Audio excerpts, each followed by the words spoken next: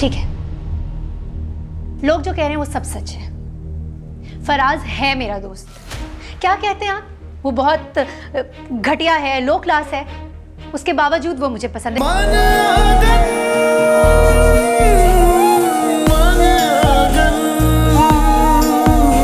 से आपने फराज पर झूठी कंप्लेन की और मेरा नाम लेकर उस पर हेरासमेंट का केस किया। ये तुम किस लहजे में मेरे शोहर से बात कर रही हो? पागल हो गई हो तुम?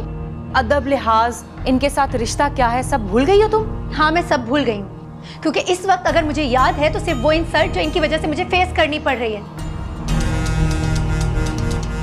किसने कहा था आपसे? कहा किसने था आपसे मेरी पर्सनल लाइफ में इंटरफेयर करने के लिए?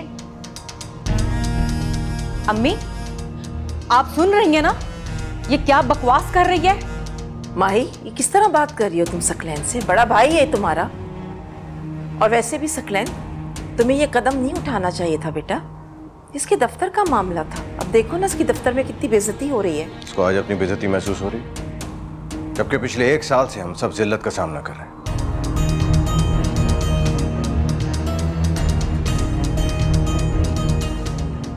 हानूर तुम्हें उस लड़के फराज के साथ घूमते हुए मैंने नहीं देखा था। मोहल्ले वाले और रिश्तेदारों ने देखा था। और उन्होंने ये सवाल किया था मुझसे ये लड़का कौन है और मानूर का इससे क्या चक्कर चल रहा है? मैंने तुम्हें इस बारे में समझाया भी था कि इस लड़के की वजह से अपनी ऑफ़िस की रेपुटेशन को खराब मत कर। तब तुमने अगर अपनी लिमिट सेट कर ली होती तो इस लड़के की क्या मजाल थी कि वो सबके सामने तुम्हें धमकाता मजबूरन मुझे ये सब उठाना पड़ा। अगर इसे अपनी लिमिट्स का पता होता ना तो आज ये आशिर के घर बैठी होती। अम्मी, आप सोच भी नहीं सकती। इरम भुप्पो ने कितनी बातें बनाई। वो तो शुक्र अदा कर रही थी कि ये उनकी बहू नहीं बनी। शुक्र तो मैं अदा कर रही हूँ कि मैं उनके घर की बहू नहीं बनी। वरना जिस तरह से एक्सप्लॉइट करके उन्होंने ये रिश्ता तय किया था ना इसी तरह सारी ज़िंदगी मुझे एक्सप्लॉइट करती रहती वो और वो भी सिर्फ़ आपकी वजह से। तुम मुझे बातें सुना रही हो? तुम्हारी वजह से मुझे रोज जलील होना पड़ता है। मोहल्ले में हम किसी को मुँह नहीं दिखा सकते।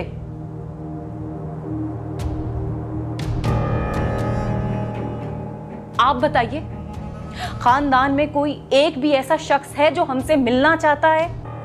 नहीं ना। पहले वास्य वाला चक्कर फिर आशिर से तलाक अब ये फराज वाला किस्सा निकल आया है। ये किस्सा सकलैन भाई ने निकाला है। इन्होंने इस बात को बढ़ाया इनकी वजह से अब सोशल मीडिया न्यूज़पेपर हर जगह मेरे नाम के साथ फराज का नाम लिया जा रहा है। इसके बावजूद तुम पुलिस स्टेशन पहुँच गई इसको रिलीज़ करवाने। तुम उससे इतनी हमदर्दी हो गई कि तुम्हें अपनी इंसल्ट ही भूल गई। हाँ क्योंकि वो मेरा पर्सनल मैटर है। तो तुम मान रही हो कि तुम्हारे और फराज के बीच में कुछ पर्सनल ज़रूर है।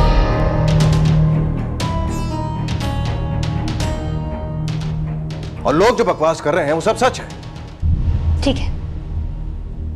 लोग जो कह रहे हैं वो सब सच है। फराज है मेरा दोस्त। क्या कहते हैं आप? वो बहुत घटिया है लो क्लास है। उसके बावजूद वो मुझे पसंद है। जानते हैं क्यों? क्योंकि वह बहुत सारे हाई प्रोफ़ाइल लोगों से अच्छा है क्योंकि उसमें मुनाफकत नहीं है।